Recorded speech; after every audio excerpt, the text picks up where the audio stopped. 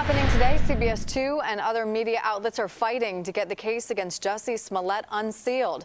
The actor had been charged with 16 counts after police say he lied about a racist and homophobic attack. But the Cook County State's Attorney's Office later dropped all charges and the case was sealed, which is legal and typical. This morning, a judge will hear oral arguments about why the file should be open to the public, with a ruling expected next week.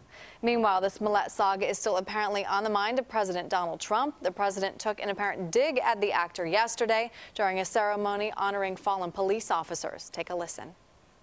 And those who file false police reports should face full legal consequences. The White House isn't saying if Trump was specifically citing the Smollett case.